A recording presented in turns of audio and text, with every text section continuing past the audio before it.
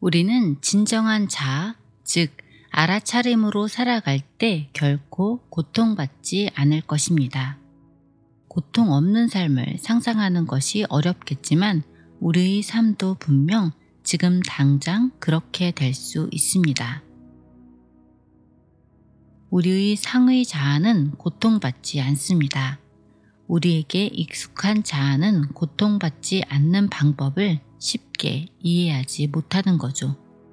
고통은 부정적인 생각을 믿기 때문에 발생하는 거예요. 그러므로 고통은 자초하는 거죠. 우리는 이미 일어난 일에 저항하지 않는다면 갈등도 없고 그 상황의 에너지는 그저 지나가게 될 것입니다. 우리가 저항하지 않는 것은 무엇이든 우리 삶에 머무를 수 없죠. 반대로 이미 일어난 일에 저항하는 것은 그 상황을 지속시키는 것이고 우리는 계속 고통만 받게 될 거예요. 우리는 어떤 판단도 하지 말고 그 경험이 그저 왔다 가도록 내버려 두는 것이 중요합니다. 심리적 고통이 족쇄를 만드는 것은 오직 움켜쥐고 매달리고 저항하고 밀어내는 것입니다. 많은 사람이 고통은 피할 수 없다고 믿으며 삶을 마칩니다. 하지만 그렇지 않을 수 있다는 가능성에서 등을 돌리면 우리는 죽는 날까지 불필요한 고통을 받게 될 거예요. 하지만 그럴 필요가 없습니다. 진짜 기적은 괴로움이 완전히 사라지는 것이 아니라 그 빈 공간에 차오르는 풍요로움입니다. 마음은 고통을 받는 것이 우리라고 생각하게 만들고 우리가 아무 의심 없이 마음을 믿으면 우리의 고통은 어마어마할 것입니다. 하지만 그렇지 않습니다.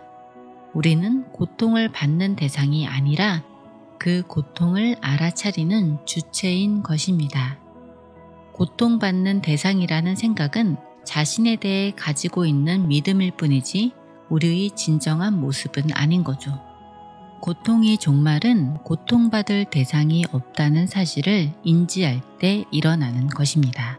나는 고통받고 있는 사람일까요? 아니면 고통을 알아차리는 사람일까요? 우리가 고통받는 대상이라는 마음의 속삭임을 믿지 않을 수 있으면 그 순간 고통은 끝납니다. 마음이 본성을 이해하는 순간 고통은 존재할 수 없는 거죠. 알아차림은 문을 열어 여러분의 자연스러운 행복이 상태를 가리고 방해하는 모든 생각과 믿음과 의견을 사라지게 만들 것입니다. 이 세상 모든 고통의 근본 원인은 오직 하나입니다. 바로 우리가 개별적인 존재라는 믿음이죠. 마음은 생각을 통해 우리는 인간일 뿐이며 언제 잘못될지 모르는 이 세상에서 살아가는 미약한 존재일 뿐이라고 믿게 만듭니다. 그 개별성에 대한 마음의 주장을 믿는다면 우리는 마음의 통제에서 벗어날 수 없는 거죠. 마음은 우리는 약하며 나쁜 일이 일어날지도 모르고 그렇기 때문에 우리 삶에는 한계가 많다는 두려운 생각을 끊임없이 주입시킬 것입니다. 안타깝게도 그 말을 믿으면 우리의 삶은 그렇게 되는 거죠. 하지만 진실은 따로 있습니다. 우리는 개별적인 존재가 아닌 거죠. 겉으로는 개별적 존재로 보이겠지만 그리고 개별적인 존재성을 경험하고 있지만 지속적인 행복이 가득한 웅장한 삶을 위해서는 우리는 무한하고 영원 불멸하고 의식적인 알아차림 자체이며 우리는 모두 하나라는 진실을 깨달아야만 합니다. 모든 문제는 기억에 의존합니다. 지금 이 순간에는 어떤 문제도 존재하지 않습니다. 인간이 마음이 없으면 문제도 없는 거죠. 모든 문제는 인간이 마음 속에만 존재하는 것입니다. 모든 문제는 마음이 생각이 만들어낸 또 다른 이야기일 뿐입니다. 마음은 이미 일어난 일에 대해 이야기하고 이를 문제로 만들며 삶을 해석하죠. 문제에서 자유로운 삶을 경험하고 싶다면 마음을 믿지 말고 알아차림이 힘을 활용해 우리의 마음을 알아차려야 하는 것입니다. 알아차림 상태로 살게 되면 모든 문제는 상상 속 한계일 뿐이라는 점을 분명히 알 수 있을 것입니다. 이는 마치 불 속에 손을 넣고 아 뜨거워 문제가 생겼어 라고 말하는 것이나 마찬가지입니다. 그리고 계속 손을 다시 불 속에 집어넣는 거죠. 우리에게 문제가 있다면 문제에 손을 넣고 아프잖아 라고 외치면서 마치 손을 집어넣지 않은 척 하는 것과 마찬가지입니다. 자신이 하지 않은 행동인 척 하지만 사실 자신이 한 일인 것입니다. 모든 문제는 에고에서 오는데요. 어떤 문제에도 타당성을 부여하지 않는다면 우리는 자유로울 수 있습니다. 어려운 점은 문제가 있다고 믿을 때 반드시 문제를 경험하게 된다는 것입니다. 하지만 부정적인 이야기를 하는 것이 마음과 마음이 생각일 뿐임을 알아차릴 수 있다면 생길 수 있는 모든 문제가 해결되고 사라질 것입니다.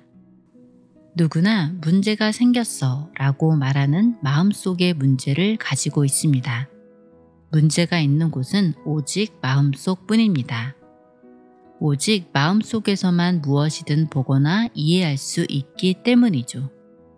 무엇을 보고 듣고 느끼든 그것은 우리의 마음속에 있고 마음을 통해서만 가능합니다.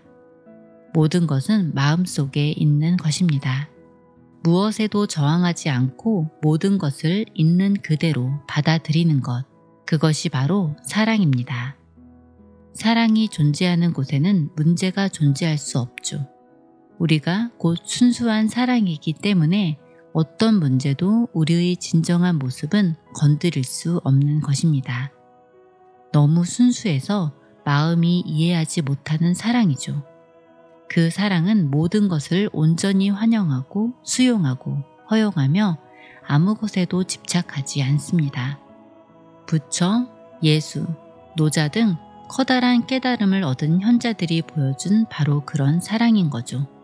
우리의 진정한 모습이기도 한 이 순수한 사랑에는 그 어떤 문제도 존재하지 않는 것입니다.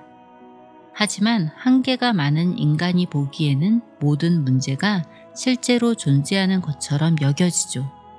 우리 마음은 무한한 알아차림과 정반대로 반응하며 받아들이고 허용하기보다 저항하고 부정합니다. 삶은 자연스럽고 즉흥적인 변화의 연속입니다. 그 변화에 저항하지 마세요. 이는 슬픔만 만들 뿐입니다. 현실은 그저 현실이 되게 내버려 두어야 하는 것입니다. 모든 것이 원하는 방향으로 자연스럽게 흘러갈 수 있도록 내버려 두시길 바랍니다. 무엇에든 우리가 원하는 방향으로 이끌어 가려는 감정적인 투자를 하지 않을 때 그것은 자유롭게 움직이며 스스로 해결될 것입니다. 행복이 있는 곳에는 문제가 생기지 않거나 너무 사소해 행복을 방해할 수 없습니다. 절망에 빠졌을 때는 아주 사소한 문제조차 산처럼 거대해 보이지만 행복할 때는 모든 문제가 그저 개미탑으로 보일 수 있습니다. 그러니 자신이 진정한 모습을 아는 궁극적인 행복의 상태에서는 어떤 문제도 존재하지 않는 것은 당연한 일일 것입니다. 이 세상의 문제는 끝이 없죠. 끝을 찾고 싶다면 영원히 문제를 해결해야 할 것이고 그래도 문제는 끝없이 생겨날 것입니다. 문제를 의식하는 한 문제는 존재합니다. 자신이 진정한 모습을 발견할 때에만 문제의 끝 또한 발견할 수 있는 것입니다. 우리는 문제가 발생했을 때 그 문제에 초점을 맞추면 안 됩니다. 문제가 커지거나 작아지기를, 없어지기를 바라지 마세요. 문제를 바꾸고 이해하고 통제하려고 하면 안 되는 것입니다. 알아차림 상태로 존재하면 문제는 저절로 사라질 것입니다. 사랑 앞에서 사랑이 아닌 모든 것은 무너지는 거죠. 알아차림 앞에서 실제가 아닌 모든 것은 무너지게 마련입니다. 우리가 문제의 대상에 초점을 맞춘다는 것은 그 문제에 에너지를 제공하는 것이기 때문에 문제에 초점을 맞추면 문제는 그 에너지를 받아 더 증폭될 뿐입니다. 문제를 해결하려 하고 통제하거나 뿌리 뽑으려고 하는 것은 그 문제에 초점을 맞추는 겁니다. 문제에서 관심을 거둘 때 에너지도 함께 없어져 문제가 사라지게 될 것입니다. 이는 불에서 산소를 없애는 것과 마찬가지입니다. 불은 결국 저절로 꺼지게 될 것입니다. 문제를 해결하려고 노력하는 것은 문제에 매달리는 것입니다. 우리가 없애려고 하는 것은 무엇이든 마음에 붙잡혀 있기 때문에 문제는 계속되는 것입니다. 그러니 문제를 바로잡는 유일한 방법은 내려놓는 것입니다. 문제를 보지 말고 오직 원하는 것만 보시길 바랍니다. 그리고 어떤 문제에서든 그에 기울였던 관심을 거두는 순간 우리가 원하는 것에 마음과 생각을 집중함으로써 이를 창조하는데 마음을 사용할 수 있는 것입니다. 우리는 우리가 원하지 않는 것에 관심을 기울이며 그것이 바뀌길 기대하지만 사실은 그 반대여야 하는 거죠. 문제가 없어지길 바란다면 관심을 걷어야 하는 것입니다. 문제는 반갑지 않은 손님과 같은 것입니다. 관심을 주지 않으면 결국 돌아갈 것입니다. 알아차림이 힘을 사용해 마음이 부정적인 생각과 이야기를 알아차리시길 바랍니다. 그렇게 부정적인 생각을 해소하면 모든 문제와 고통에서 자유로워질 거예요. 우리의 진정한 모습인 알아차림 상태로 머무는 것은 우리가 누려야 할 기쁨과 축복이 또 다른 모습이라는 것을 꼭 기억하시길 바랍니다.